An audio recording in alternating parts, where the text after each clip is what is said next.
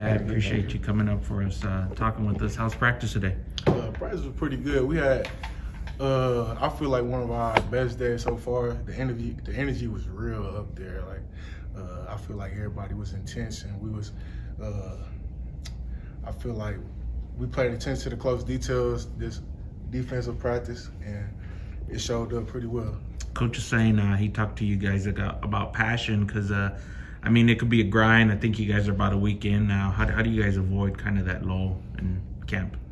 Uh, really just talk to yourself. Don't listen to yourself. You know, just stand. It's a it's a mental grind at the same time. Like, of course, being in fall camp, everything's gonna take a little toll on your body. Just talking to yourself and motivating yourself to keep going, push through that, and you will. You in that defensive line room have been with the same group of guys for a couple years now. What's that dynamic like?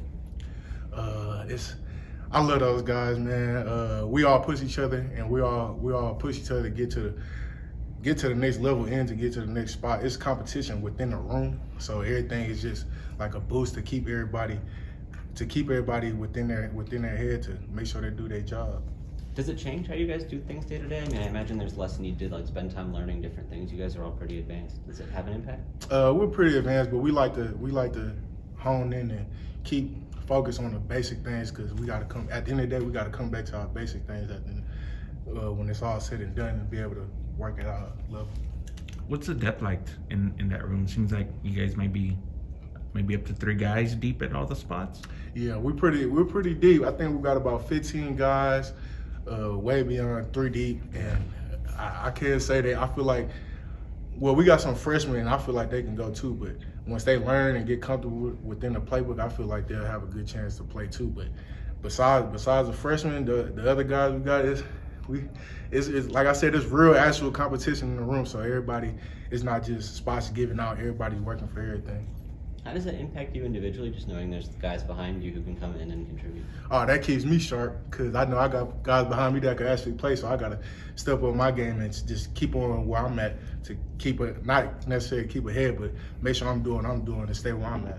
You guys felt pretty good about your depth last year too. Uh, in games, does it allow you to you know, maybe go a little bit harder. You don't have to pace yourself. Does it change something in that sense? Oh, for sure. Knowing I could give my all and the next man up that's right behind me could do the same thing just always feels amazing. So when I'm out there, just like last year, like if I if I know I can go in there and absolutely give my best, like every play, knowing that somebody gonna come in and get me and do the do their job the exact same way, I feel I feel comfortable doing that. Anybody in that room who's taken a big step forward from last year to this year who you could highlight?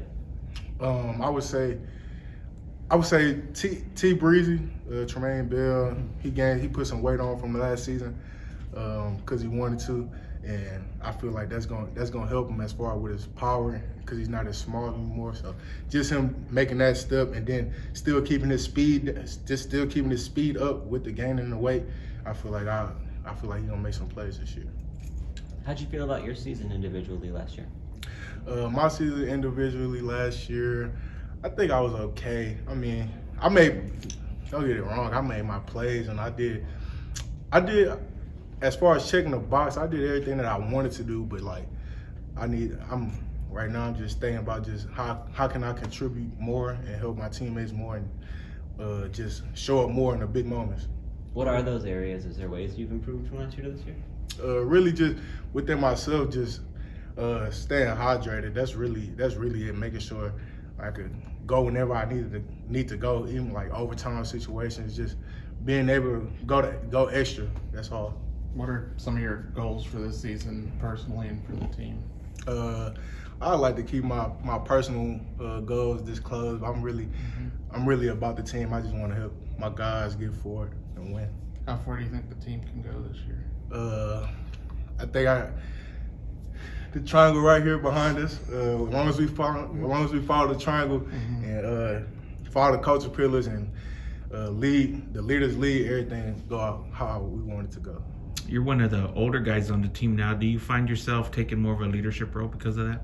Oh, for sure. Um, I feel like I could be a little more vocal, but I, I don't. We have a vocal guy, uh, Asari Simon. He talks a lot for us, but I talk a lot. I just I just talk when I need to talk. That's how I feel like. And the guys, they listen whenever I do, and I just lead by example for the most part. But I for sure could talk a little bit more. But they they understand me. I know. Yeah, I'm I'm for sure a vet here right now. What's your reaction now to being in a league with your old school as the defending champ and the preseason favorite? Uh, um, it feels it feels good to be honest, uh, knowing that we got them possibly twice. I it's it's something that's stamped that I'm looking forward to.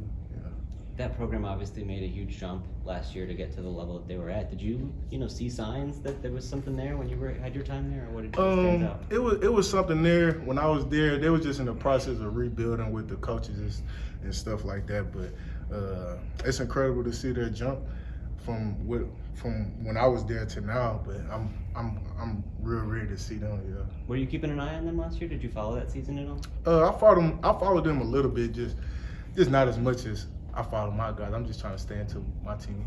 You still have friends over there? Uh, yeah, I got a couple guys over there. Really, really a lot of guys since I'm from there on the team and stuff like that that I keep in touch with. But uh, on the football, on the football level, they know they they know they got it coming.